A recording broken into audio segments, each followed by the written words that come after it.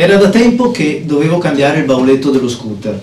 E, beh, ma molti di voi hanno già capito che non è il bauletto dello scooter. Questo è la custodia del 400 mm f4. Eh sì, oggi presentiamo un obiettivo straordinario. Questa è la custodia con la sua scocca, una scocca che rispecchia esattamente quello che è l'obiettivo, la filosofia costruttiva dell'obiettivo, e cioè essenziale, non ci sta niente di più di quello che deve starci. Eh.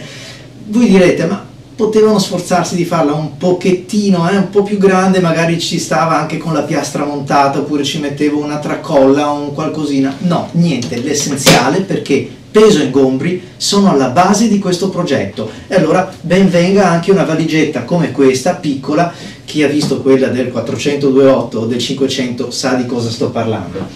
Tante cose da dire, perché è un obiettivo, è un obiettivo che dopo, dopo anni eh, ho scelto di tenere questo rispetto al favoloso mastodontico 400-28. Allora, premessa, 400 mm è la focale che mi piace di più, perché ci si fa ci si fanno tante cose, la caccia fotografica, sì, non è un 500, è un 400, eh, certamente a volte direte, ah, mannaggia, avere quei 100 mm in più, però oggi come oggi è una considerazione anche secondaria perché basta montarla sul sensore di una Canon 1D e abbiamo già un 600 mm f4 che mi sembra che basti avanzi per quello che devo farci io il 600 mm è anche proprio al limite de, de, de, della mia eh, apertura fotografica. Eh, dall'altra parte cosa, cosa, abbiamo? Allora, eh, un obiettivo che vi dicevo non è neanche un 300 perché è un 400 è un obiettivo che riesce a fare il, la caccia fotografica, riesce a dettagliare magari nel paesaggio alcune cose e se ci serve la luna su un picco è l'obiettivo ideale, ma a me piace tanto, venendo dal grande formato, perché il 400 mm in grande formato è un obiettivo che io trovo fantastico per la qualità dei piani, per la capacità narrativa. Vi invito a, a guardare questo, così, questa chiacchierata sulla, sulla capacità di alcuni obiettivi che hanno di descrivere, documentare, qualcun altro di narrare, qualcuno eh, invece che narrare fa della poesia. La poesia per me questo è un obiettivo molto poetico, ovviamente non utilizzato eh, nel suo ambito specifico che è che so, la caccia fotografica, ma quando vado a ritrarre oggetti di medie dimensioni come un tronco d'albero, come un fogliame, mi regala una verità, una trasparenza attraverso questi vetri che altri obiettivi non mi danno ed è quella che ritrovo, come vi dicevo, nel grande formato. Grande formato, utilizzare un bel 400 mm, anche un 360 mm, ci dà, mi dà perlomeno questa questo racconto, questa tridimensionalità che è una tridimensionalità spaziale, eh, non è compressa, non, non, non è, eh, come possiamo dire, costretta dall'ambito del fotogramma, è quello quasi quello che vedono i miei occhi. Allora, è un obiettivo particolare perché è un obiettivo 400 F4DO. Questo DO sta per Diffractive Objective, insomma utilizza il, la tecnologia delle lenti diffrattive. Chi fosse interessato consiglio eh, dall'inesauribile Marco Cavina andare a leggere la descrizione tecnica di come una lente diffrattiva eh, operi rispetto una, agli obiettivi comuni a lenti con schemi diversi da questo. Perché diffrattiva? Perché Canon quella volta là, intelligentemente, ha detto cerchiamo di fare un obiettivo che sia leggero e compatto il più possibile. E questo è uno dei, dei motivi per il quale sono anche legato molto a questa ottica Sapete che sono un girovago, non sono un fotografo da capanno, a me la stanzialità non piace, con tutta l'ammirazione per i colleghi che fanno delle foto che io non avrò mai, li invidio molto, però a me piace più camminare, mi piace andare a vedere, raccontare quello che vedo, prendere quei momenti che la natura ci mette a disposizione e non posso farlo né con un 500 mm, lente strepitosa, ma ahimè 3,5 kg per la mia schiena sono impossibili, e neanche con obiettivi un po' più corti, perché il 300 mm per me è ancora corto su quello che devo farci. Allora Canon ha detto cerchiamo di fare una lente che funzioni così. E giusto per darvi l'idea, perché ce l'ho qua, questo è il 300 mm f4, sono alti uguali. Non solo, questo pesa 1,3 kg, abbiamo detto, l'abbiamo visto nel video precedente, questo pesa meno di 2 kg, 1900 e qualche cosa, meno di 2 kg, è incredibile come si riesca a, a mettere in un 400 mm che possiamo maneggiare così. L'aspetto che secondo me lo caratterizza ancora di più è il bilanciamento. Eh, nel video farò passare una clip dove faccio vedere che montato su un monopiede, se trovate un equilibrio e appoggiate quindi su un lato il monopiede, sta in piedi da solo. Questo vuol dire una capacità di stancarsi pochissimo, una capacità di riprendere un soggetto con dei tempi anche un po' più brevi rispetto a un altro obiettivo, la possibilità di angolarlo anche quando non è in posizione statica perché comunque il bilanciamento ci aiuta in questo.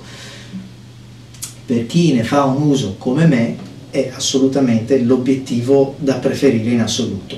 Anche il paraluce, allora, nella descrizione dell'obiettivo vi ho detto c'è il suo anello, l'anello si stacca, ma in questo caso mh, penso che è un'operazione che non si farà mai, anche il paraluce è leggerissimo, in questo senso è stato fatto uno sforzo proprio per avere un obiettivo che possa essere davvero molto maneggiabile, molto trasportabile e alla fin fine insomma tra il chilo e 6 rotti del 100-400 e i 1900 di questo ci passano tre etti che tutto sommato eh, riusciamo a portarci dietro. Questo obiettivo me lo sono portato anche recentemente sulla Gusella, me lo sono portato a, su a Rit in, in Valvadia, cioè mh, ne ho fatta di strada con questo perché comunque eh, è un obiettivo che non si fa sentire eh, più di tanto perché pesa davvero poco ed è molto ben bilanciato. C'è il suo cappuccio per mettere dentro l'obiettivo sia con il paraluce montato che ovviamente senza paraluce è un cuoio morbido, floscio, rigido qua con la sua eh, maniglia per, per prenderlo eh, anche se preferisco portarmelo dietro in, un, in uno zainetto, in una custodia imbottita perché diventa molto più facile prenderlo ed estrarlo.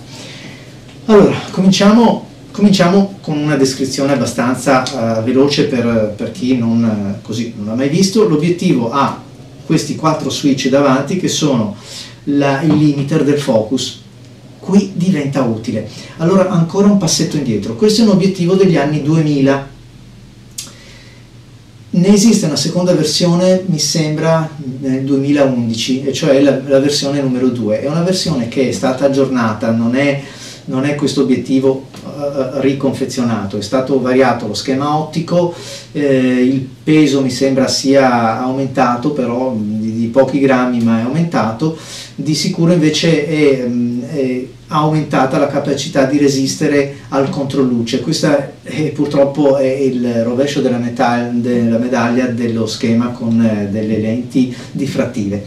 Eh, anche con un paraluce lungo così se voi cominciate a puntare verso il sole, cosa che insomma capita di rado, però capita perché anche questo tramonto che ho fatto ci si accorge di una velatura che entra, non so come, ho provato a mettere anche una mano per proteggere di più, eh, la luce diretta è mal digerita, non che non si porti a casa la foto, intendiamoci, però insomma ci sono obiettivi che fanno miracoli in questo senso, questo no.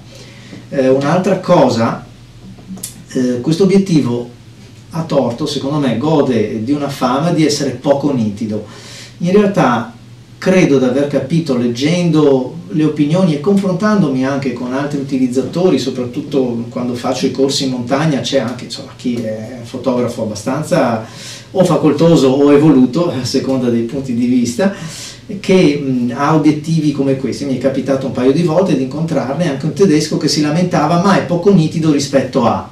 Allora, se è poco nitido rispetto al 402.8, poco nitido è una parola grossa, diciamo che perde il confronto in nitidezza, sì, è evidente, e ancora una volta volere la, la botte piene la moglie ubriaca è impossibile, c'è un obiettivo così corto che pesa meno della metà di quell'altro, è, è impossibile che non abbia qualcosa da sacrificare. Tanto è vero che la seconda versione di questo migliora un pochettino la nitidezza, però vorrei dire questo, non è che non sia nitido o che quando guardiamo le foto ci manca qualcosa, è che siamo abituati ad obiettivi come può essere il 500 mm o il 300 2.8 che sono delle lame.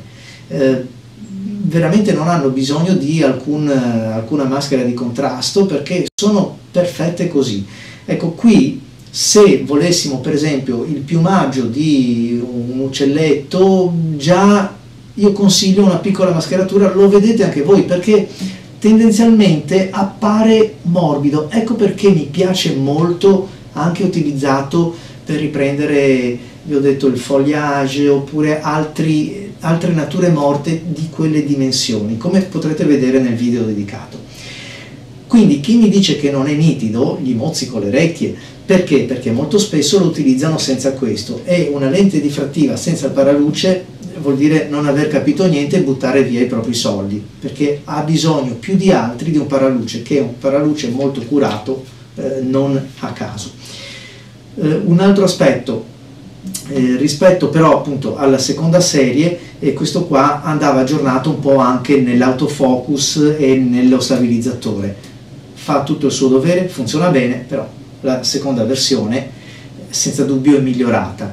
Sono obiettivi, non ce ne sono tanti, mm, è un progetto quello delle lenti diffrattive che Canon ha abbandonato, c'erano altri due obiettivi straordinari da, da produrre ma non sono mai entrati in produzione, anche qui abbiamo il rovescio della medaglia, cioè l'usato di questi obiettivi, specie un obiettivo come il mio che, che sembra uscito ieri dalla fabbrica, io l'ho comprato nel 2007, quindi questo è un 2006 produzione, sono obiettivi che tengono il mercato più di altri perché ce ne sono pochi. E chi ha l'esigenza di portarsi dietro un 400 mm di qualità eh, o questo oppure mh, mm, ricorrere a qualche sherpa perché sapete che sono obiettivi molto pesanti.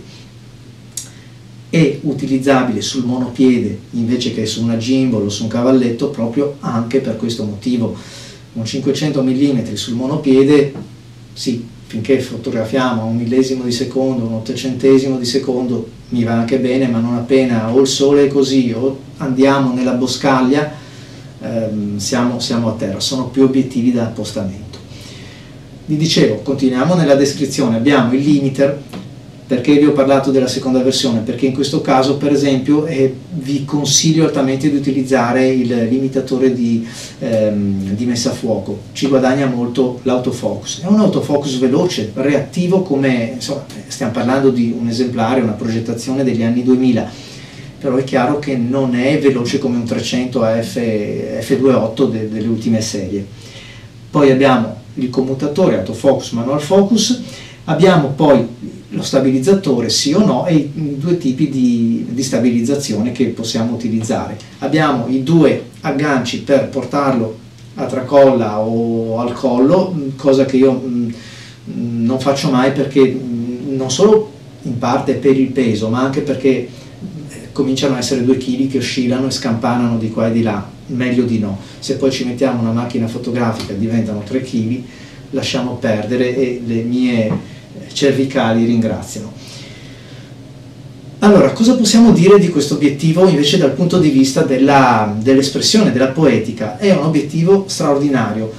Parentesi, non vi ho fatto vedere, qua c'è il portafiltri, come per, per ogni obiettivo, si incastra e via è un obiettivo che a me piace tantissimo. Un F4 vi garantisce di avere una profondità di campo che è né più né meno di quella che usiamo sugli altri obiettivi di maggior luminosità.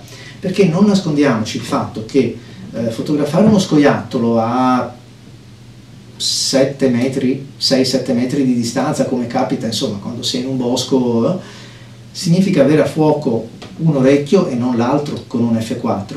Col 2.8 ehm, lavoravo sempre più o meno tra i 3, 5 e 4, eh, non, solo, non, non certo per una questione di morbidezza, perché questi sono progettati per lavorare a tutta apertura, perché danno il meglio di sé e ci si prende questa sfocatura eccellente, ma proprio perché è uno sfocato così stretto, un 400 mm 2.8, che difficilmente lo utilizzate se non quando invece il soggetto è più distante. Eh, fotografia sportiva, uno sciatore, un atleta, il calcio, quello che è, allora lì ci sta perché ci allontaniamo e il 2.8 ci aiuta in questo senso e ci dà comunque una sfocatura che è eccellente. Questi obiettivi qua però se lavoriamo eh, un pochettino più da vicino generalmente dobbiamo stringere perché il fuoco è talmente selettivo che ci troviamo un occhio a fuoco e un altro no, questo per darvi un'idea. Fermo restando che con questo si lavora tranquillamente su un monopiede se non a mano libera quando abbiamo delle condizioni di luce buona, con un obiettivo come un 400-2.8 o un 500 o un 200-400. A proposito andatevi a vedere il video dei Super Tele dove faccio un po' di palestra con queste bestioni qua perché davvero eh, rimette in posizione un po' tutto quanto in fatto di peso. Vi dicevo si lavora F4 normalmente quindi mm, sento di non aver perso molto pur avendo un obiettivo che si ferma tra virgolette a questo diaframma. Mi piace tanto la resa del colore. L'obiettivo è tendenzialmente eh, soft, vi dicevo, non è una lama, eh, perché tutti gli obiettivi di questa generazione rispetto a quelli moderni sono tendenzialmente un pochettino più morbidi, ma non che non siano, eh, che non abbiano acutanza, è proprio loro, la loro natura, essere un pochettino più votata eh, a quella che è la, la, poetica del ritratto piuttosto che andare a dettagliare con, con la massima acutanza quello che stiamo fotografando mi sono segnato mh, altre due cose da dirvi. Per esempio esiste un 400 mm f5.6. Anche lì qualcuno dice ma mi compro quello perché risparmio una marea di soldi e comunque insomma è un 5.6.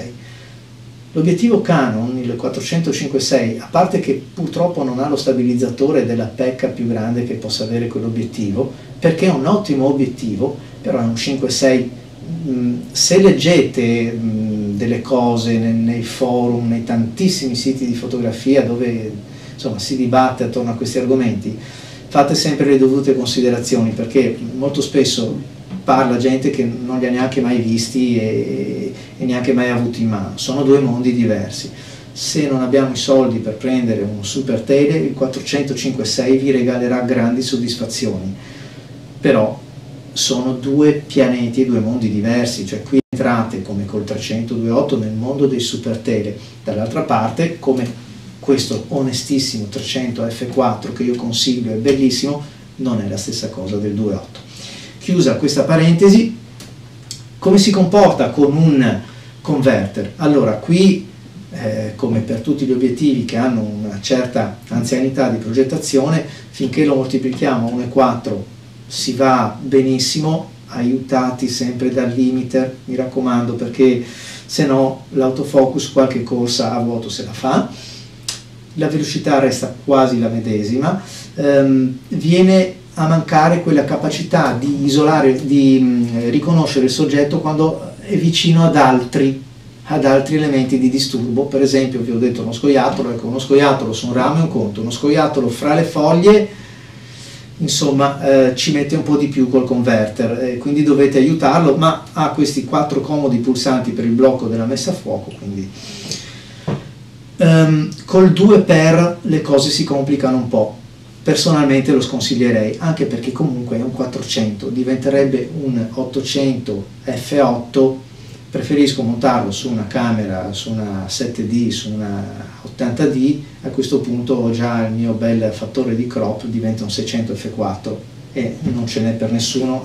Allora, è un obiettivo che è mm, così ben, mm, ben bilanciato che quasi quasi arrivo a preferirlo sulla 5DSR che sulla D1X, nel senso che quando lo monto su una macchina che di per sé è una macchina veramente pesante e tosta, al di là della raffica e delle, delle capacità dell'autofocus che sembrano assurde certe volte per chi non ha mai provato ehm, riuscire ad agganciare un, un falco un nibbio eh, in controluce puro sembra impossibile comunque ce la fanno. Cioè è una macchina straordinaria però diventa un po' sbilanciato a favore della macchina perché il centro cade proprio qua. Il, il centro eh, vedete che devo per forza tenere un po' di più il centro cade proprio qua e infatti una delle, diciamo, delle caratteristiche che ho notato nell'utilizzo di, di questo obiettivo è che quando montiamo un converter andiamo a perdere quel bilanciamento ottimale che invece c'è montandolo sulla testa del monopiede su una camera normale. Sembra, sembra di poterlo gestire su una testa fluida sempre, sempre mm, larga e giusto per movimentare. È davvero sorprendente.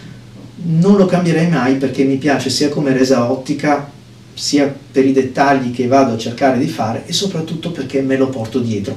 Quindi assolutamente consigliato per chi vuole fare una caccia vagante oppure vuole fare della fotografia itinerante portandosi a casa delle foto inusuali, inconsuete. Lo vedrete nel video dedicato. Grazie per seguire i video di PhotoArt. Vi aspetto ai prossimi appuntamenti. Ciao!